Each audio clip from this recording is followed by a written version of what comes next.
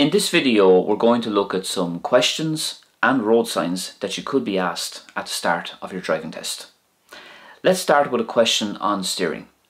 How would you check that your power steering is working properly? So when the engine is off, the steering is going to be stiff and it will probably lock. So once you switch on the engine and you move the wheel, it should move freely, easily and without any vibrations or stiffness. You could also check your steering in a safe and quiet area while you're on the move. So if you feel that your car pulls to one side while you're driving, it could be down to improper wheel alignment or improper wheel balance. It could also be possibly due to an issue with uneven uh, tyre pressure, a worn suspension part, or perhaps an issue with the brake pads.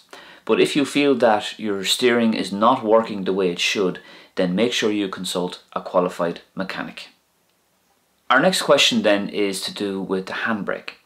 How would you test that your handbrake is working properly? So park your car on a hill in a safe area. Um, press the foot brake firmly while your car is in neutral. Let down the handbrake and then pull back up the handbrake. Let go of the foot brake. The car should hold and the handbrake should remain up in a secure way. If you notice anything unusual, such as a kind of a shaky sound or a looseness to do with your handbrake, make sure you consult a qualified mechanic. Our next question is to do with cycle lanes. What's the difference between a cycle lane with a solid white line and a cycle lane with a broken white line? So a cycle lane with a solid white line is mandatory and other drivers are not allowed to use this cycle lane with the solid white line unless it's an emergency or possibly for access in and out of a house or in and out of uh, premises of some sort. If it's a cycle lane with a broken white line, then this is still reserved for cyclists, but drivers may use it temporarily if there's no cyclists there. For example, um, to overtake um, an obstruction or a hazard, or again for access or for an emergency. Drivers may park in a cycle lane with a broken white line up to 30 minutes, but only if there is nowhere else suitable to park and if they need to load or unload goods. Be aware of information plates nearby to do with a cycle lane with a broken white line, as these information plates may tell you the times uh, and the days that the cycle lanes are in use. Next question. What do you do if you see two flashing red lights? This means that a train is coming and you're at or very close to a level crossing. So make sure you stop for the train and obey all local signs, markings and traffic lights.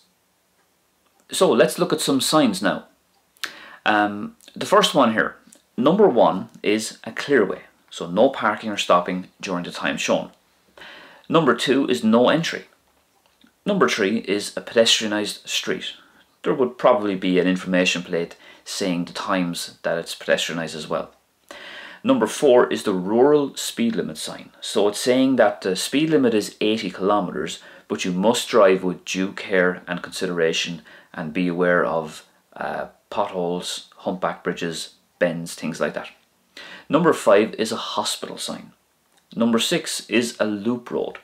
This is a long circular road that you will often find on flyovers or at large intersections. Number 7 is series of dangerous bends ahead. Number 8 is a warning. It's saying to you, be alert, there could be a concealed entrance or some other type of hazard or unexpected um, obstruction up ahead. Number 9 is a two-way street. Note the colour is orange, so it's probably due to some kind of roadworks. Number 10 is an advanced stop sign. It's giving you advance warning that there's going to be a stop sign up ahead. Number 11, advanced yield sign. In a similar way, it's giving you advance warning of uh, a yield junction or sign up ahead. Number 12 is a level crossing protected by a gate or a barrier. Always remember the theory and road signs is just a small part of the driving test. Even if you get lots or all of the questions and road signs wrong, it does not mean you fail. You will lose a mark, but you won't fail. You can still make it up in the rest of the test. So, that brings us to the end of this video. If you enjoyed it, please give it a thumbs up and I'll be back very soon. See you next time. So, the power steering should be stiff. The power steering should be stiff. How does that make sense? So once you switch on the engine, what, what, and you, oh my god. It could also be possibly due to an issue with uneven uh, tire pressure or